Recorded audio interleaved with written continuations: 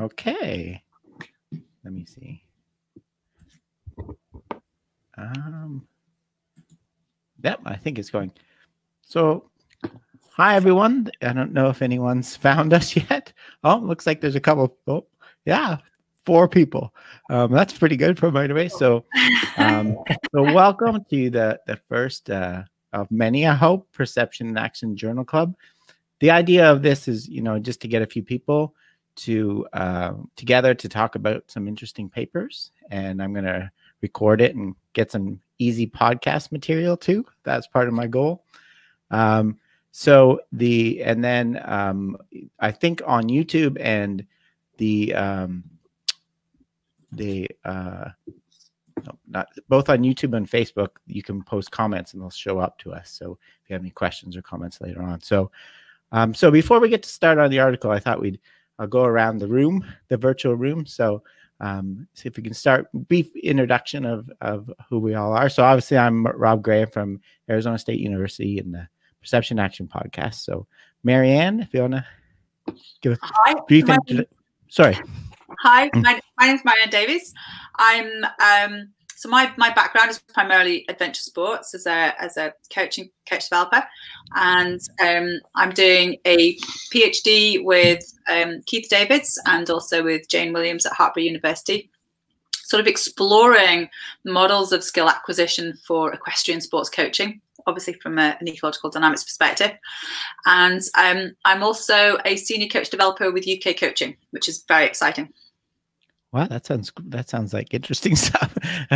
uh, ben, mine's not as interesting as that, but um, I'm, I'm from Canterbury Christ Church University of the UK. I'm a part PhD, part teaching staff there, and most of my work kind of looks at um, perception action coupling in elite sports people. Um, at the moment, well, my previous work was in in goalkeepers for my masters. Um, which I'm writing some bits up now with Will, with Will Roberts and um, Keith Davids. I'm currently doing my PhD around affordance based control and kind of really getting into nitty gritty ecological stuff. Um, but yeah, that's about it. That's cool. That's far it's gone at the moment. that that all sounds really good stuff. Yeah, uh, I was just actually um, I'm trying to get uh, Brett Fajen to come on and do an interview about uh, mm. affordance based control, but he's too involved in administrative things with right now. So eventually I'll get him on. Okay. Yeah. So today we want to talk, we're going to talk about, if I can quickly, this uh, paper uh, that uh, scaling sports equipment for children promotes functional movement and variability. Um, it's by Tim Buszard and Damian Farrow and the, all the colleagues at the AIS, the Australian Institute of Sport, who do all that really awesome stuff. Uh, first of all, how cool is it that this paper got into Nature? Uh, skill acquisition rate research doesn't know, especially one that uses real sports instead of something reaching, or you know, not that that stuff doesn't have value. But um, so, what I thought I would start off, you know, um, maybe this is kind of a loaded question, but so what they did in the study obviously was to uh, take kids and give them uh, small smaller rackets and and different tennis balls to to practice tennis. So I wanted to ask kind of a loaded question to start. Is this uh, a constraints led approach manipulation? What what are your thoughts on that? I'm going to say anything which changes some form of a parameter is technically constraints led approach. So anything can be constraints led approach and I know that got shut down quite a lot, but. I would agree with that because we're changing the um, we're kind of changing the relationship between the performer and their environment through through the equipment through changing the equipment. Yeah, no, I think that's a great. I agree too. I think this is a great example of why in the word constraint is sometimes not the best, right? Because we're not actually re- limiting the kids. We're actually giving them more. Uh, they're giving them more opportunities. So it's a great example of constraining to afford, right? Mm. By giving them, they're not taking away things. Well, maybe taking away reaching to a further ball because the racket's shorter. But so, what kind in the the pyramid? What kind of constraint is this? Would you put it? Probably easy question. task. task? Do we win points if we get these questions right? I don't know. There's no. I don't know the answer. I'm just wondering if people tell us off if we get it wrong. yeah, yeah, I kick you off. Uh, yeah, no. Uh, well, I, I find this a little bit confusing. Like some people are inconsistent. Uh, well, I think the way I think of it doesn't agree with the way Carl. I would call it a task constraint too, equipment. But I think you described it perfectly, Marianne. It's really causing the interaction between individual and, and the task to change, right? Yeah. So I think sometimes we we put too much emphasis on categorizing it when it's these things all interact. So, um, so I guess do you want? I don't know. Do you want to give kind of a, an overall impression of what you thought about the study, maybe to to start? Um, now that I've done my quiz, um, Ben, do you want to? Yeah, um, I've really, really like the paper. Um, I'm gonna try and be really critical of it just because it will help me understand it a bit more. But mm-hmm. um, one of my bigger concerns was that in terms of this this um, scaling equipment, how does that really transfer as if we look more longitudinally as they continue to grow and then end up using typical sports equipment? How does that how does that initial learning phase of learning to these new constraints of the scaled equipment actually transfer later on down the line. Um, that was my first observation that was on the question, but in terms of the the actual setup and studies, seems really effective. I like the use of the decompressed ball as well to um, kind of alter the coupling between the. I don't know, maybe briefly mention it, but don't really building it briefly, but kind of a perceptual system as well, because there has to be that element of coupling between the perceptual mode system. Um, and it's also really clear the differences. I think in terms of multiple joint couplings, it's hard to argue against the findings, which is always nice to see. I think in this this style of research, especially where a forehand is still kind of a novel skill to an extent. Um, it's not super, it's not massively dynamic or massively relying on loads of external properties. So it's interesting to see this big difference in in still quite a relatively niche, small, novel task. Mm-hmm. Yeah, no, I agree. Marianne, do you have a? Yeah, I, I, I I likewise, I really like the paper, and like I say, I, I like the fact that it was really clear. I, I, found it fascinating the increase in the sort of coupling with the limbs mm-hmm. as well, and that obviously releasing degrees of freedom. And it kind of made me think about part of that could possibly also be psychological as well. You know, it's sometimes quite hard to unpick all those different bits, but from my perspective, it really made me think about the experiences I have particularly with things like paddle sports where there isn't that there are sort of um not not such set equipment so you can buy different boats and paddles and things etc mm-hmm. and and just how different performances as a and certainly as a woman or somebody who's not kind of built like your average olympian and realizing that's mm-hmm. how they create the boats and what they do is they scale them to size which kind of made me think a little bit more about this rather mm. than scale to proportions. So when I first worked with Canoe Wales, I was really lucky to spend some time with one of the guys that designed the Pyranha boats. And the first thing they did was move my seat forward and put a little booster cushion on it so that I had more weight above my boat instead of inside it. As typical woman, I've not got such big shoulders and I'm kind of got more weight down. And the difference was phenomenal. So even though my weight was correct, my kind of my my build wasn't. Mm-hmm. So the scaling wasn't just to size. And the same with the first time I had a mountain bike that was designed for women. I went, oh, that can't really make much difference. But it was phenomenal. Yeah. So, no, I yeah, think those are great, great points. um, I think they're both you both raised really good points, uh, uh, Ben. The the transfer of what ha- what happens when you go back to regular adult size mm. equipment you know, I as far as I know, none of the studies like there's a, quite a few studies on scaling equipment for kids, right? But yeah. as far as I know, and no one's looked at that. And um, I, I also think the the point about it's not just the size; it's actually the the scale and the arrangement. And the because I, I, believe there's one scaling study where they gave they, did, they actually used I think four different rackets that for and they they tried to match it based on the kid's height and but it was too simple it's not that simple like you were saying it's not just size Not that so simple. yeah and um so in this study i i think the methodology right they they were just doing tossing were they just hand tossing the ball to the Yeah, And- Yeah. underarm.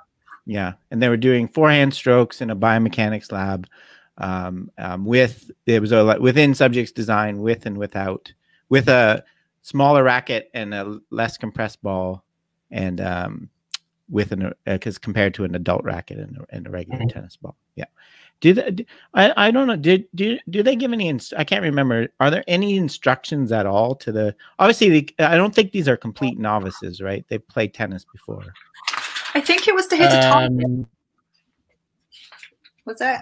yeah, Yeah. But I, what I meant is, have they had any coaching at all about how to swing a tennis racket, like how you, any kind of the traditional explicit, you know? So it's not purely here, f- pick this up and hit the ball. I think they have had some regular, normal, traditional coaching before this. Yeah. yeah, they've all they've all come come from Tennis Australia's Hot Shots program, so some kind of coaching center thing. Mhm. So they've, yeah, they know what tennis is. What sounds things. Yeah. So it's not like pure novices starting out with self organization completely. Obviously, they, they've had some fo- foundation. Um, let me kind of try to share my screen a bit uh, so we can. I think that's there's not much else to the actual methods. I think it's pretty straightforward, right? It's all really in the analysis. I think. So let me see if I can put up if I can get this to work. Okay, there's my. Let's see. Oh, there we go. Fancy. Okay. So I put up, so this is, um, so a lot of what they were measuring, and then let me go. I think this is, uh, a lot of what they were measuring was the variability, right? Mhm. Um, so one of the things that, you know, I would recommend when you, if you're reading a paper and, and is really you have to be clear what kind of variability are you talking about, right? Is it the variability between uh, shots? Like, so if you take with between shots within one person, between the group of people, like you take the ab, or or within a single stroke, right? So, um, so this is um, this is one of the, the the really nice figures. So this is what they're doing is plotting the variance in the forearm and the upper arm, right? I think this was within a tennis stroke, right? Yeah. Mhm. Yeah. And the um the so they're what they're showing there this they're really in this paper they're really framing this all in t- in terms of Bernstein's degree of freedom problem, right? You have to figure out what you need to do with your upper arm and your forearm um, and coordinate them in some way. Um, and what they're showing, what they're basically showing there. So, do you want to, uh, Marianne? Do you want to kind of talk through one of these figures? Is there anyone kind of that caught your eye in particular? Um, I think what's um, what really came across to me there was that um, how how the, the shoulder was re- you know released obviously more in the um, in the scaling one, so they were able to move more fluidly, and they had that um, uh, coupling of the shoulder and the forearm rather than just holding the shoulder still and trying to just move the forearm to control to control what the, what happened with the ball, and I, that was um like I said that was really interesting because part of that can can be feeling you know that there, there, there can also be an you know um psychological aspect to that feeling more confident you just kind of relax a little bit as well. So um but it was really that for me that was really interesting especially kind of one of the things i you know really interested is in how do we how do how do we um promote an earlier uncoupling of those freezing degrees of freedom. Yeah, yeah, I agree. And I, if I remember correctly, a lot of the original studies, not only do they have a performance benefit, so you hit more winners, you hit harder, but I think there's also kind of strategical, like you're saying, psychological. There, they hit the ball earlier, they play more aggressive shots. They there's they hit in front of the baseline more. yeah Um, so I think I think you're right. There's it's more to it than just a coordination change, right? Um, how about you, bit- Ben? Any? yeah, the bit I quite love that's been drawn out of this is where typically I know a lot of the arguments against self-organization is that it, nothing can just be randomly spontaneous. But the, the point they make around how the upper and forearm kind of coupledness in relation to the um, in relation to the angle of the tennis racket or the distance of the tennis racket. So it's, still, it's still organized around that kind of set parameter still.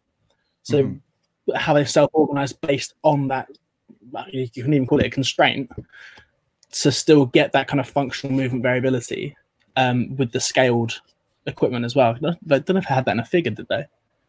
Yeah, um, I'm trying to find. So this one, I just I mentioned, you know, the way that I, I interpret this one. So this is the variability in your forearm position versus the variability in your upper arm. And basically what you can like what you see is the blue triangles and the, the basically your forearm isn't varying, right? The the points are almost in a perfect vertical line, right? So mm-hmm. there there's that's what they that's where their evidence of freezing, right? You're, you're the person is choosing not to do anything with their forearm right? They're, they're basically doing the same thing all through the whole thing.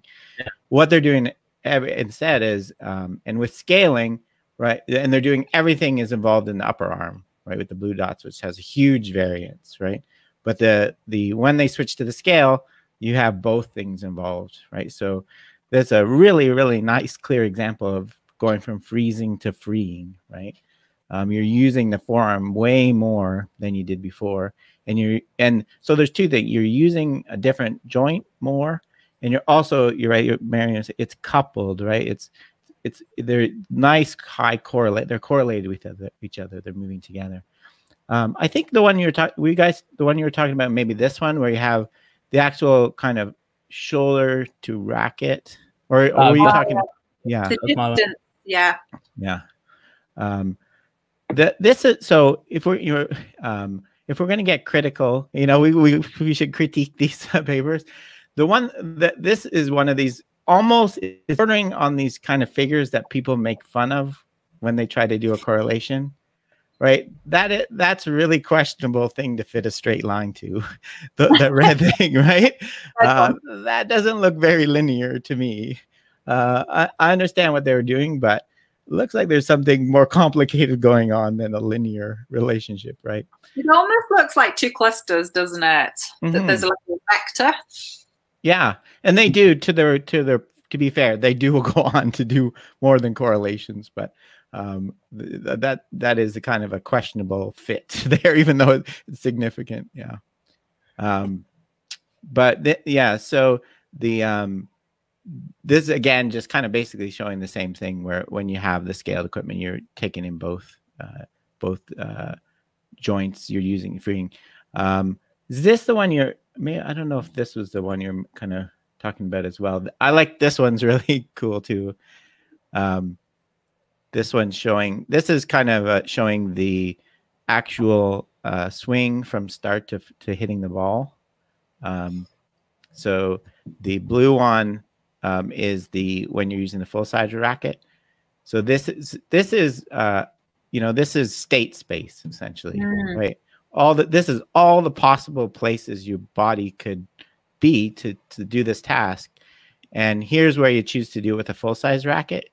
It just looks so it doesn't it looks so you know you're not using all the available state right to, to do the task using a really narrow range of options whereas this one wow, you're really opened out and, exploring the environment. Whether you know maybe that doesn't always use um, uh, yeah. you know, results in better performance, but in this case, it does. Yeah. And that visual line on the blue one just looks really constrained, doesn't it? It looks like it's being really controlled. mm-hmm. Yeah, and I think that's what they're trying to show in this yeah. uh, this little graph here. That you, it's again, it's because you're you're you're free. You're doing everything with one part of the body. Yeah. And at first until the very end when you have to, to kick in the other part. Yeah. So in terms of why that happens, so I, I say I'm a I'm a tennis coach.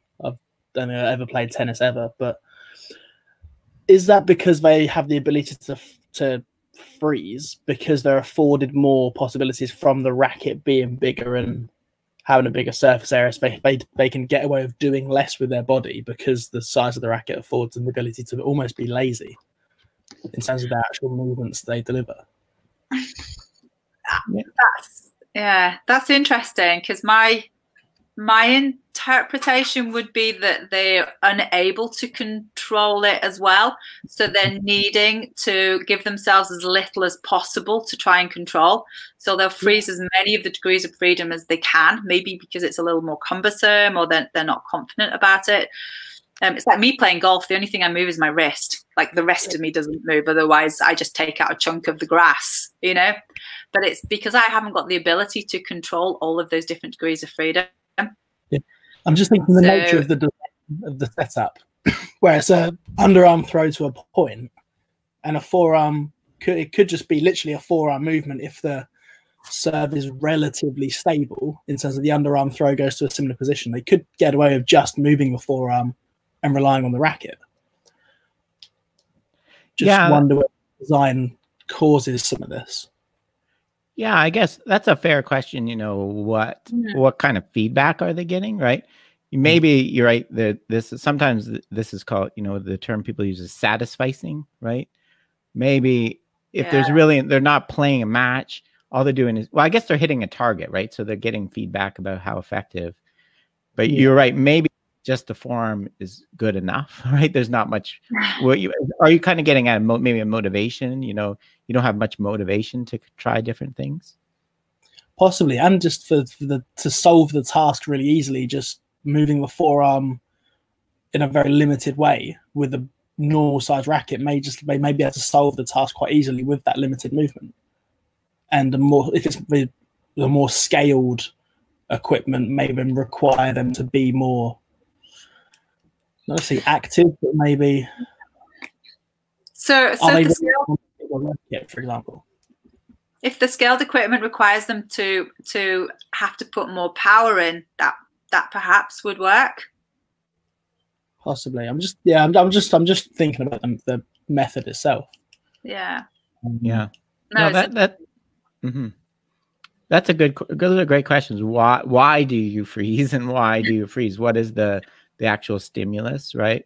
Um, is it something? Is it kind of motivational? You see, you know, that you're not doing effectively, and you change. Eh, um, we probably wouldn't think in most cases it's conscious, right? You're that you're gonna I'm not gonna move my arm. You probably really can't do that in most cases. But um and then, you know, or is it just kind of more giving you more uh you just suddenly pick up the smaller racket and you can swing it in different ways and so it leads you to trying different things. Yeah. Awesome.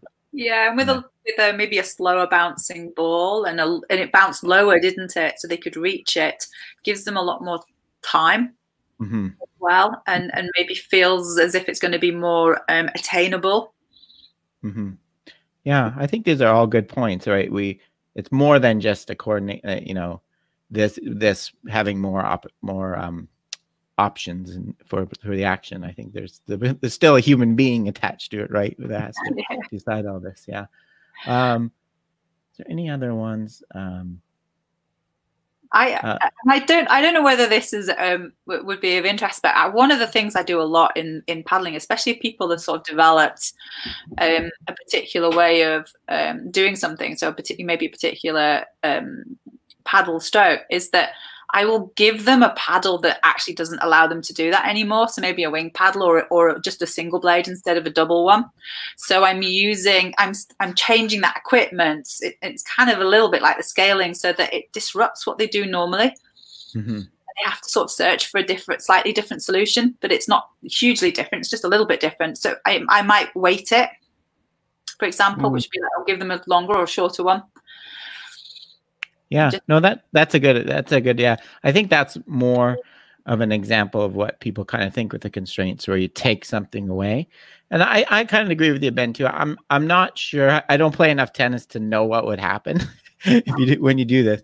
If if you tried to swing exactly the same way with a smaller racket and a decompressed ball, what would happen? I'm not sure. I just wonder whether have they used scaled equipment before so, if anything, the the normal sized racket was actually the intervention, and yeah, therefore causing more stable, almost novice like response to using that equipment. Hence the freezing of, of certain degrees of freedom. Yeah.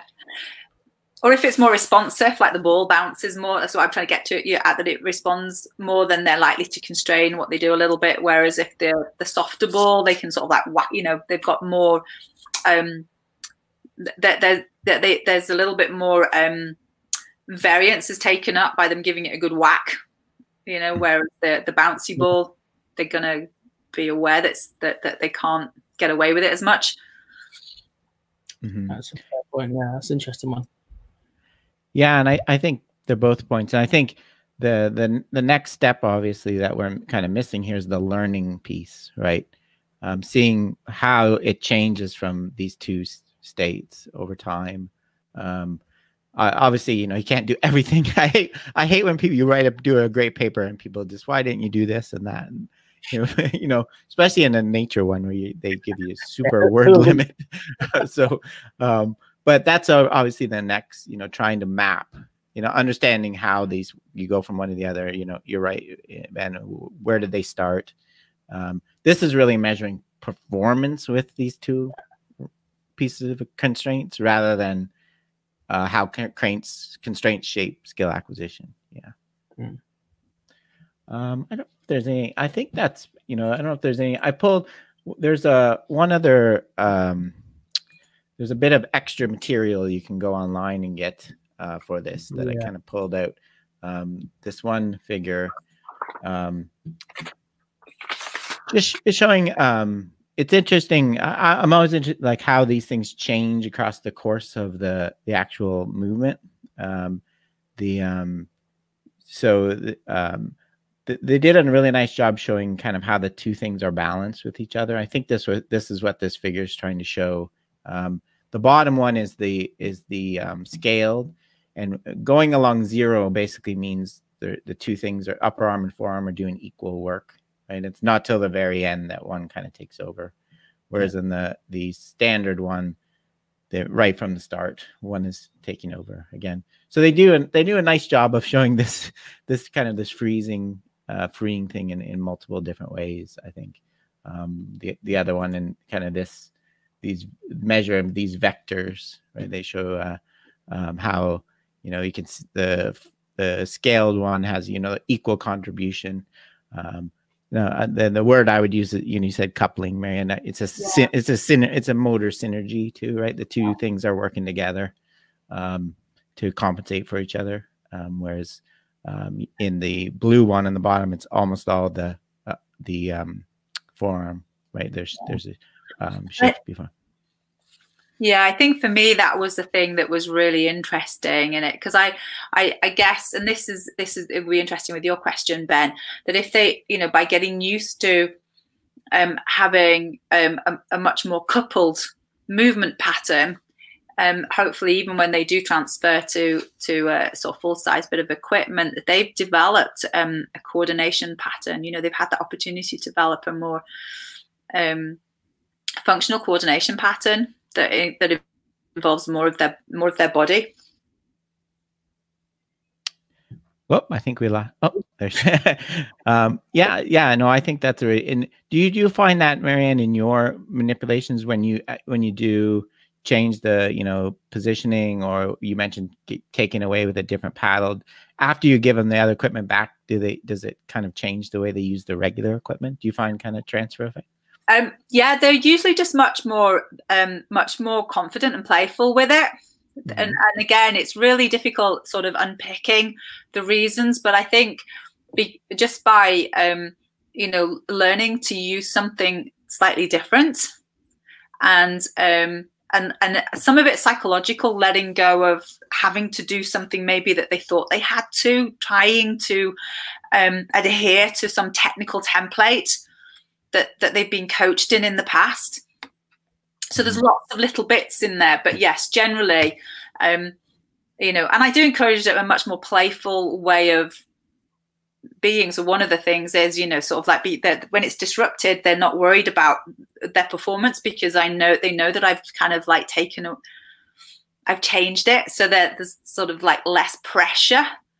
Mm-hmm. If that makes sense. So when they yeah, go, definitely, yeah um, you've kind of moved sometimes moving it away from the yeah. uh, competition environment although we say, oh, that's less representative, maybe, but I, I you know, it lets it lets people relax a bit more, feel like they can play around. I agree. Yeah. Yeah, and usually when they go back, yeah, I, I don't think I've ever had anyone that doesn't go back and just be much more playful and competent with with what they've had before, or ch- or change it, or go actually this isn't the right size paddle for me. I'm gonna, you know, my maybe the equipment I'm using isn't as good as it could be. So, but but there's a beauty of that sport that they that you know that you can change those things. But but definitely, I think almost we have to unconstrain people's minds as much as their bodies. mm-hmm. I agree. Yeah, it's that sometimes you the term psychological safety, right? You got to let people Absolutely. feel it's comfortable to make mistakes and mess around, and yeah, and yeah. not always be perfect. Um, ben, you and not be locked into a technical template to use. Exactly. Yeah. Yeah. It's hard not to um, to get out of that mindset. Ben, you you're meant you're kind of a what you what can you can we talk about this paper in terms of affordances? I don't know if they really mention um, anything in terms of affordances in the paper. No, they don't really. They try to be quite theoretically neutral to an extent. I think. I think they're quite clever with that. yeah, maybe they. Uh, maybe that was a response to reviewers. You never know. um, nature though. yeah, definitely. Whatever you have to do. Absolutely. I think affordance is an interesting one because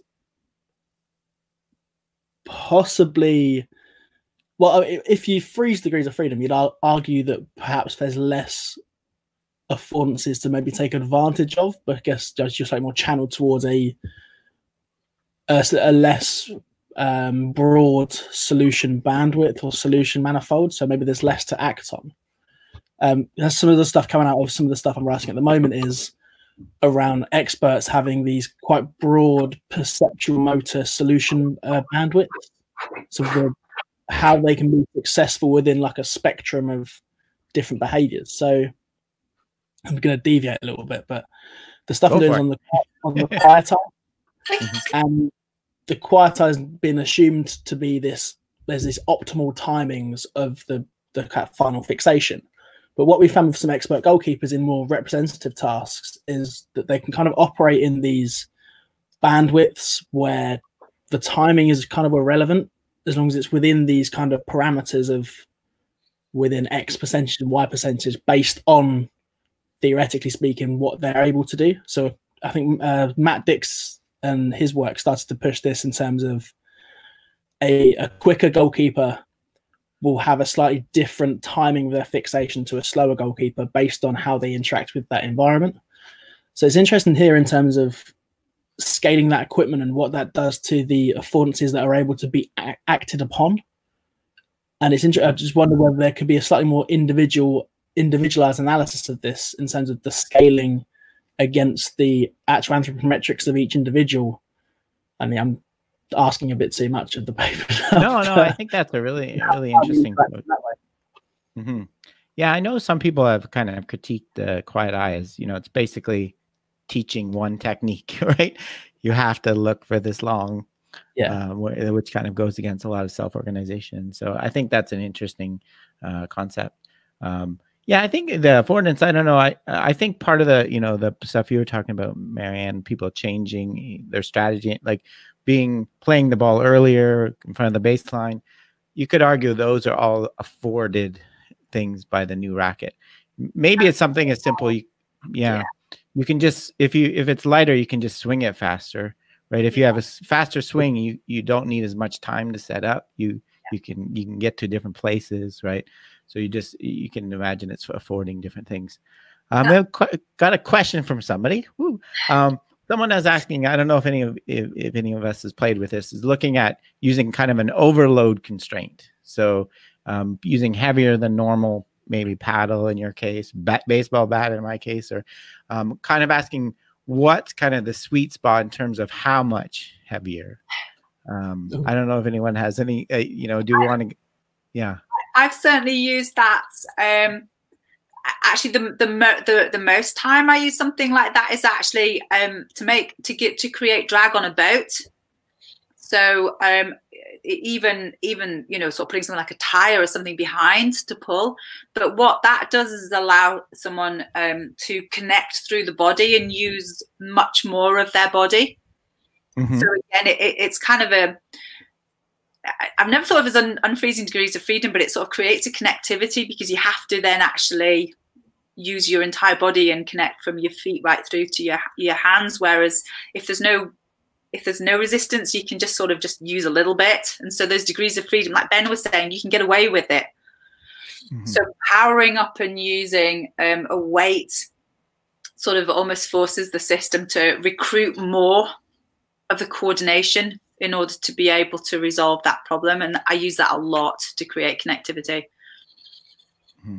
I don't think there is any, there's nothing on really practitioner guidelines of if you are going to scale equipment of how much by or to what extent or in relation to, to what other variables.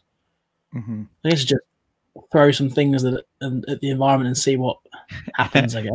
yeah, yeah, definitely. I think um, you're right. Uh, you know, I've done a bit with you know heavier bats and things like that. Uh, the only the only observation I can contribute is you know sometimes what I found is it can be unnoticeable almost to the person consciously and still have effects on their actual you know how they coordinate and things so you don't have to go super heavy right away i think and obviously you want to be careful with that in certain sports so um, you know i'd start small um, I, I, guess if, if you really know what you want to change like you were talking about marianne then maybe you can do some sort of sort of calculation but other than that you're right ben you're right ben just guess yeah, yeah yeah yes and, and i guess I guess is thinking about why, what you're getting out of it. What is it? What is it that that will um, get the the learner to search? What perceptual motor workspace do they need to explore by you doing that? Mm-hmm. Yeah, definitely. Um, um, you're right. And I think, like I've always always tried to, that's what differentiates differentiates the constraints led approach from pure differential learning for me. It's yeah. you know um, and, and that, that, that's why I would call this constraints not it's not differential learning. Obviously, you're changing the racket specifically to try well, to achieve something. Yeah. Change, yeah. yeah, yeah, to try to open up affordances. Yeah. Um, so maybe wrapping up, you know, the so I think I, I, I picked this article. I like this article because not only is I I, I don't think it just applies to developmental issues in kids. I think it it's a good test of one of the main arguments of the constraints-led approach, right? What yeah. what we should see when you add constraints. So I, I, think it really does advance.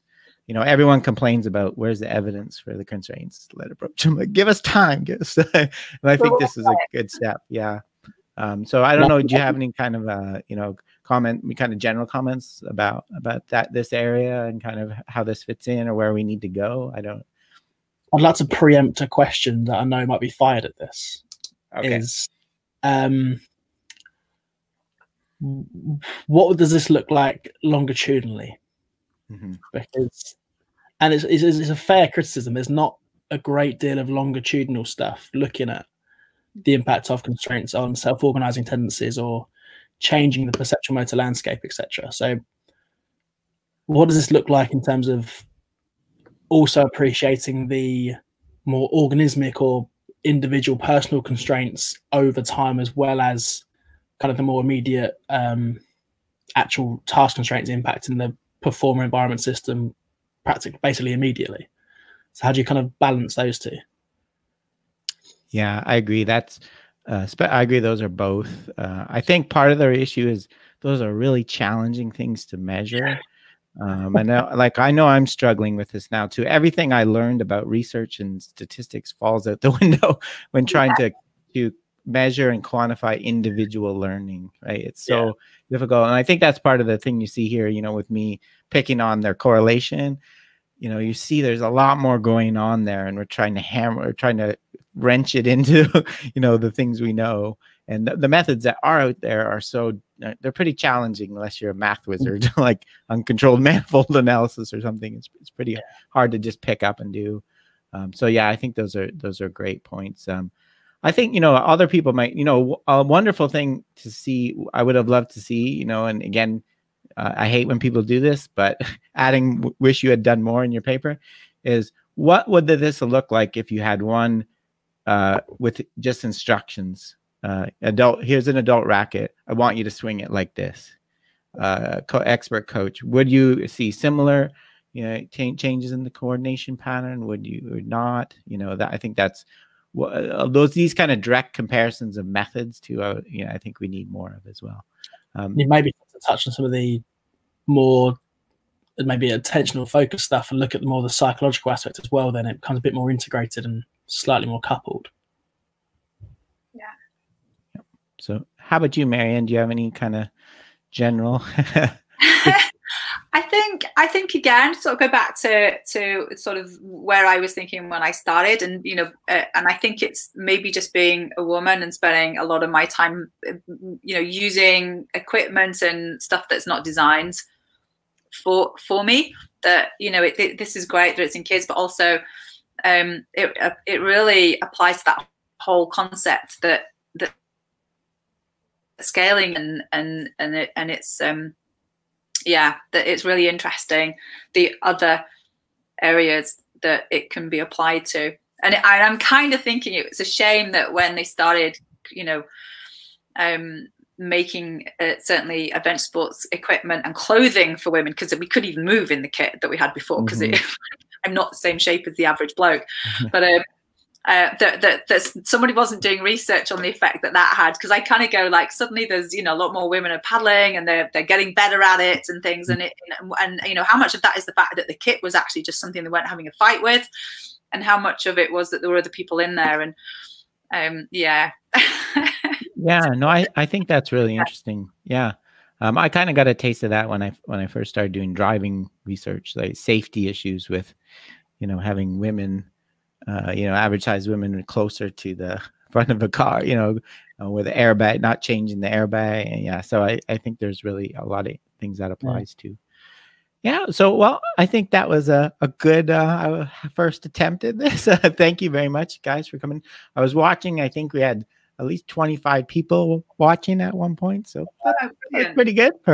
um, so I hope you guys, how are you guys uh, holding up in the uh, what self uh, stay at home, whatever you want to call it, environment. Um, I'm I'm gonna I, am thinking I might start learning how to play golf because I've I've been quarantined at my family's place, which is mm. which is fabulous. But there's a bike park and a pump track and the horses and the show jumping, and I'm thinking oh, I'm not supposed to be doing that in case I get injured. And then there's this beautiful golf course that's empty outside my window, and I've never been interested in golf, so I'm contemplating I, I had the exact same thought actually. There's a golf course across the road from me, and I keep looking out, and I you see the people. As long as you stay away from the 19th hole, the bar, right? Golf is like a perfect sport for this, right? You have small yeah. groups of people that know each other that are separated by yards and yards of fair. So I, yeah. I'm not at high risk of being injured and having to be taken to A and E and explain why I was doing something I wasn't supposed to be.